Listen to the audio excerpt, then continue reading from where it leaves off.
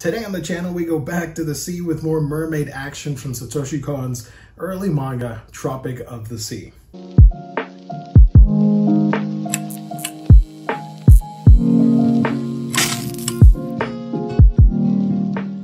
Hey everybody, welcome back to the channel. Gio here, and today we're going back to Satoshi Kon's work, this time for his 1990 manga, Tropic of the Sea. Now I have to backtrack a little bit. Back in 2021, I did a review on Opus. And in that video, I talked about how I was a little bit oblivious of Kon's uh, manga career. Uh, I neglected that part, I guess. He is my he is one of my favorite directors of all time. And for some reason, the manga, I, I never associated the two, you know? So now, uh, in these past years, I'm rediscovering all of that I made a video about Opus. I had a lot of fun talking about that book. And now we're going to talk a little bit about Tropic of the Sea. So the story follows the character of Yosuke Yashiro and his family. For many years, they have been partaking in this tradition where the mer people or mermaids hand off an egg for protection. The family will take care of it in their shrine and uh, until it hatches for around 60 or so years. And as a result of that symbiotic relation, their coastal town is blessed with a bountiful harvest and good tides, favorable conditions and nature and all that stuff. And it's a very healthy ecosystem that they've established. Now, some people don't believe in it. They think it's sort of a fairy tale, uh, a thing that you use to, or say, to attract uh, visitors and tourists and stuff like that.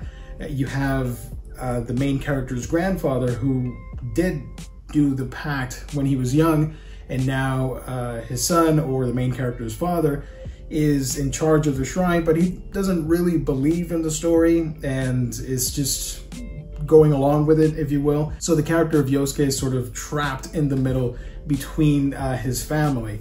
Now, what I like about the setting in this story, it has a very uh, local feel that can only be experienced by those that have lived in coastal towns like myself. And you see a lot of the same people and uh, the fishermen and the people just enjoying the public beaches and stuff like that. And I found that really special and could sympathize and could see myself in that situation. I really enjoyed the vistas. The art on this thing is beautiful. Compared to Opus, I enjoy the art on Tropic of the Sea a lot more. It's very beautiful, delicately drawn, and well defined. Everybody has nice facial structures. It's very easy to distinguish people. It sort of feels real. It feels like you're there with them in that story. You could almost sense the and feel the breeze of this hot summer day, if you will, or a cool night. It, it really has that ambiance to it that I really enjoy and rarely do get from manga because sometimes, you know, we like to read a lot of fantastical stuff. And this plays out sort of like a modern type of fairy tale, honestly. Very quickly in the story, you see that Yosuke's father is working with investors and construction people and all that stuff to uh, help build this large spa hotel resort type of thing and that will obviously disrupt the uh, the coastal town. It will disrupt the water and the you know the roads and and, and everything and, and the nature aspect of it being a rural town compared to the big cities. Now they obviously know about the legend of the egg and they sort of uh, start this commotion about it being sort of like this touristy thing that they can exploit. None of them really believe the stories, unlike uh, Yosuke's father, and Yosuke, who's sort of trapped in the middle, like I said earlier. Now, there are a couple of characters that help Yosuke along in the story, like uh, a good friend that returns from uh, the city back to her hometown. There's possibly a love connection forming or slowly blossoming. Uh, Yosuke's sister is also part of the story, along with his friends and stuff like that. That really uh, enriches the story to me because it's not just about them. The story is also about the town. The town is integral to uh, the plot of Tropic of the Sea. It's not just Yosuke's adventure with a mermaid egg and the possibility of a mermaid really existing. It really does explore the nature of uh, a town being exploited for resources, industry taking over uh, the coastal town and ruining the flora and fauna and stuff like that. So I got to admit, at first glance, when I started reading the book, it was kind of a slow burn and I wasn't really digging into it as other books that I've read. And I like this stuff. I love folklore and I love, um, you know, urban legends and the more fantastical side of life and sort of wondering like, could all of this really happen? Is this sort of like a hidden chapter in the, the book of life, if you will. I really enjoy stuff like this. But at the beginning, I wasn't really feeling it. I thought it was a little bit too slow and I wasn't getting myself emotionally invested in the characters. It wasn't until a particular scene, right from the first few uh, pages, I believe this was only seven chapters, but they're big in size compared to modern day uh, manga chapters. So there's this one scene that I really enjoyed where they're looking out at the sea at night. You have Yosuke in his boat with his friend, and Yosuke's uh, contemplating about the mermaid and uh, the egg and all that stuff, and remembering about his life and uh, his deceased mother and stuff like that. And he sees something off the distance. Now he doesn't know at first, and obviously his mind could be playing tricks. He thinks like it couldn't be a mermaid, right? And it turned out to be his friend Nami that I mentioned earlier coming back into town and all that stuff. She loves to swim and was playing a prank on them and wants to climb on board the uh, boat.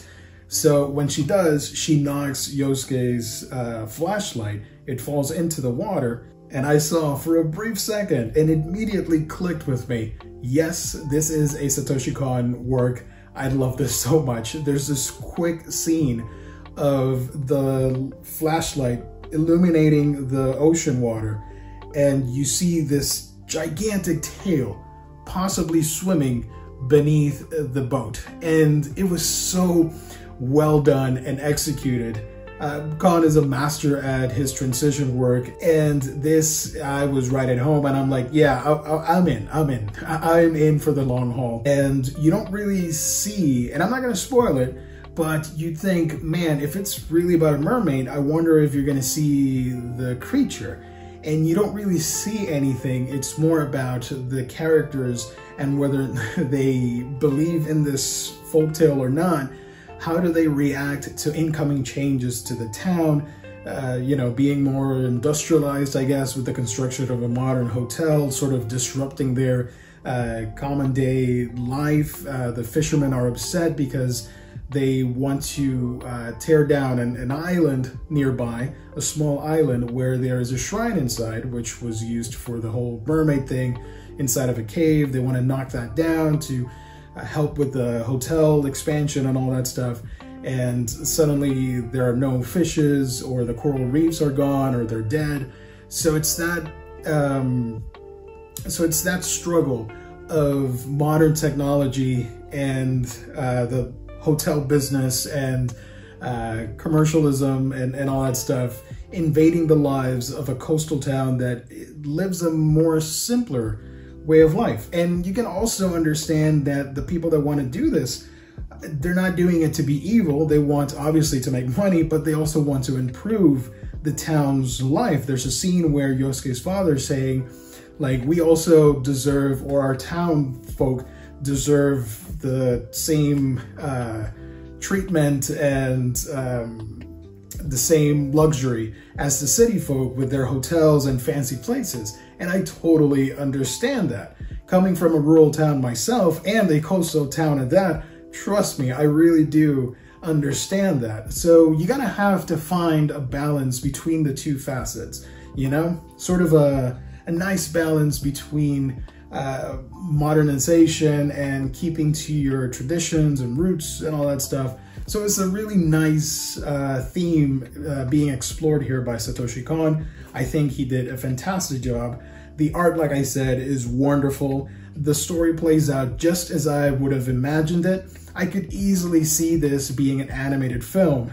And it's a damn shame that we never got an anime adaptation of this. I think it would look amazing and do really well. I said earlier in the video that the pacing was a little bit slow at the beginning, but once I got to that uh, little reveal and scene that I told you about in the water, the story picks up dramatically and you become invested in the story and Yosuke's uh, dilemma of keeping to tradition, but also, uh, you know, there's this plot thread where he is wanting to get into college and study and move away from the town, but kind of doesn't want to because he wants to keep to his family's traditions and his grandfather's a huge influence in that.